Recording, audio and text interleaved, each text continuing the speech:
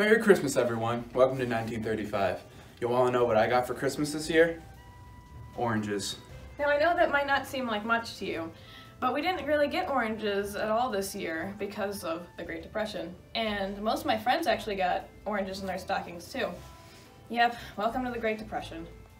A few years ago, a lot of families lost money. Nobody can afford anything extra for Christmas. Some families can't even afford a Christmas tree. Lucky for us, we got the woods out back. Me and my dad cut down this tree. We hauled it back to the house and everyone else helped decorate. We couldn't afford any decorations this year, so we made our own with magazines and newspapers. And I think it's the most beautiful tree we've ever made. Now, I know what you're thinking. This sounds like the worst Christmas ever. But you know what? I learned something this Christmas. I realized that even though it might seem like we don't have a lot, in some ways, we have a lot more. On Christmas morning, after we opened up our stockings and got our oranges, we headed out to church as a family. And I realized that the true meaning of Christmas is the gift that God gave us, Jesus Christ, his only son. After church, the whole family came over to the house and we just spent time together. Our mom led us in some Christmas carols and then she went to go cook the chicken. Our dad and uncle would be playing cards at the table and they'd tell us about stories when they were young. And I realized that even though we have so little, we have so much to be thankful for. Not only had God given us our great family here on earth, but He promised us an eternal family in heaven where we never have to say goodbye. So remember to always be thankful for anything God does for you this Christmas.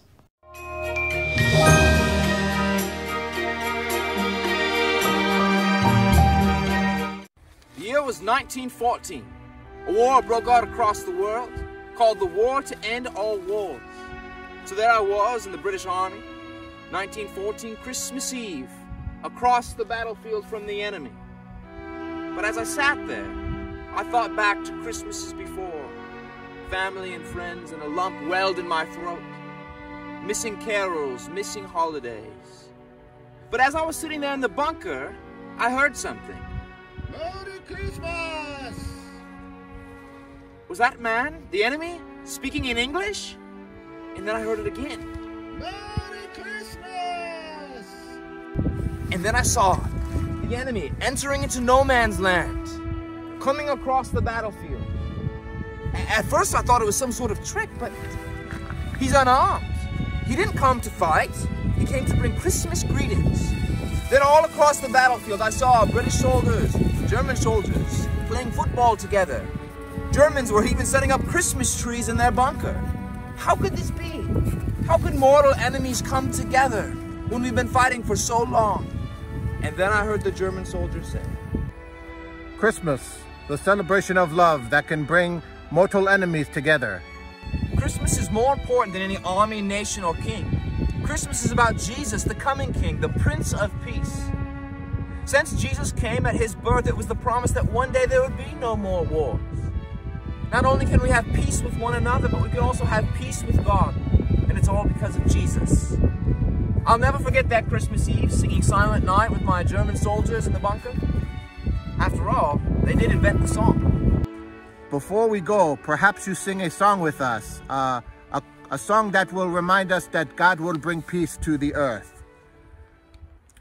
Silent night, holy night, all is calm, all is bright, round yon virgin mother and child, holy infant so tender and mild, sleep in heavenly peace, sleep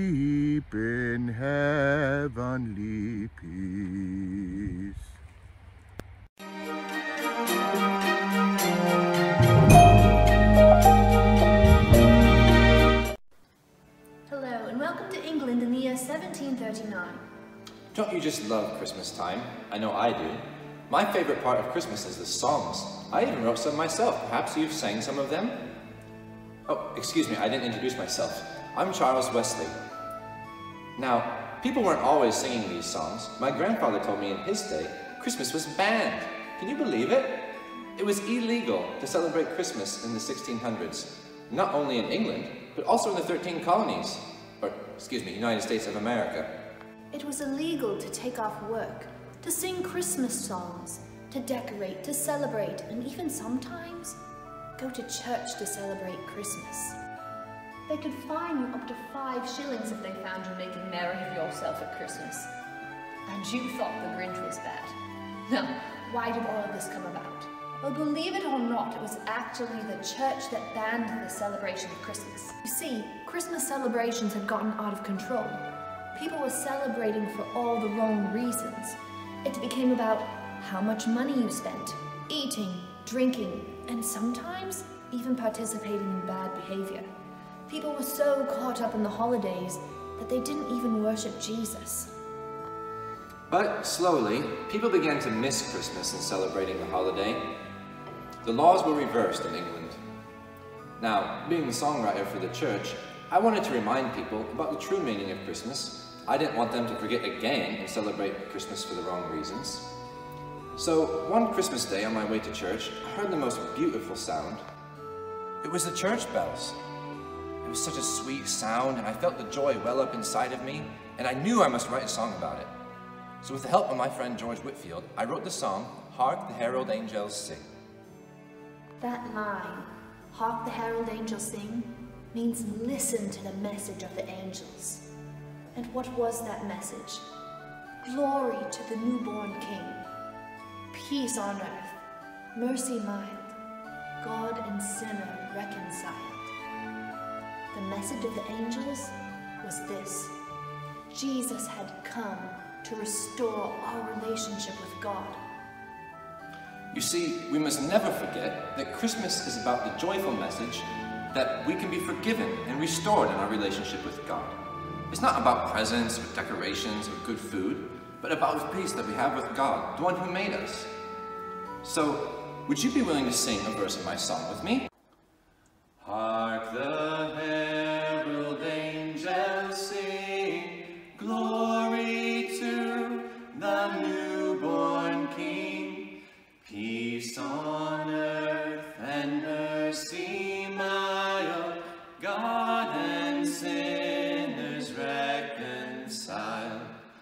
Joyful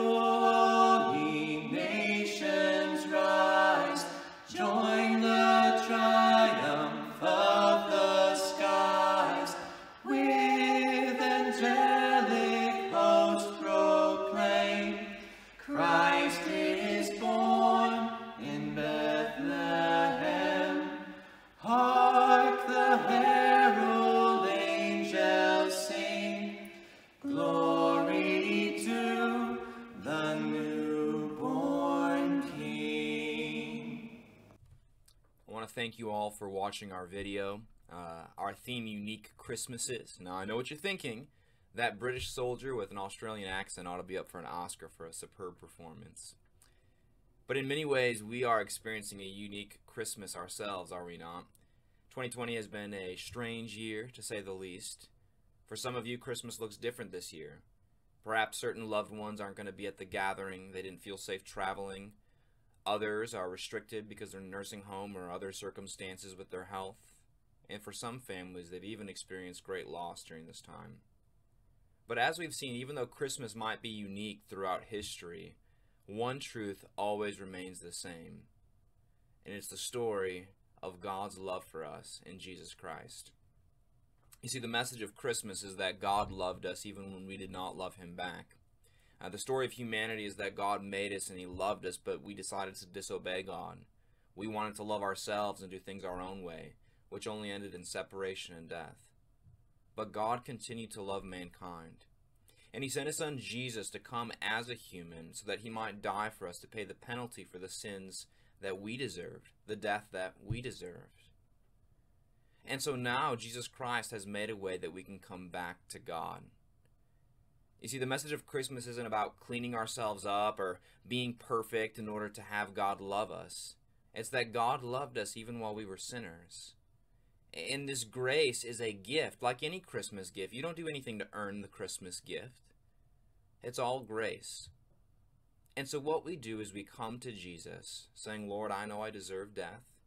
I don't deserve your love, I deserve hell. But because of Jesus taking the punishment for me, I'm not going to trust in myself anymore. I'm going to turn away from my sin. I'm not trusting in any other God. No other God can save me like you can. Because not only did you die for me, but you rose again from the dead. And those who put their faith in Jesus Christ will not die, but when they when Jesus returns, they will also raise from the dead, for they have the same spirit inside of them that rose Jesus Christ from the dead. Our prayer here at HCC is that this would be an unusual Christmas for you, not just because of 2020, but perhaps for the first time in your life, you might understand the true meaning of Christmas and receive the ultimate gift from God eternal life and a relationship with Him. Merry Christmas from Hampden Congregational Church.